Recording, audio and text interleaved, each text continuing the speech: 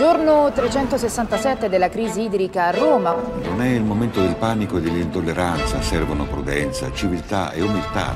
Disinneschiamo le polemiche. Io al bolletto l'ho pagate tutte! Non viene utilizzata nemmeno una goccia della rete pubblica. Servono persone come lei per trasmettere fiducia. Gente impazzita. Bravo, bravo! Dai, su! Solamente ieri sera. Amore di papà, c'hai 16 anni. Non so come può Devi ridere, innamorarti. Mi piace uno. Eh beh, non subito. Eh, invece subito.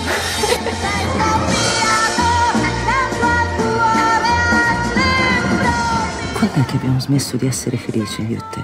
Tu sei mai stata felice? Sì. Allora, futuro ci aspetta.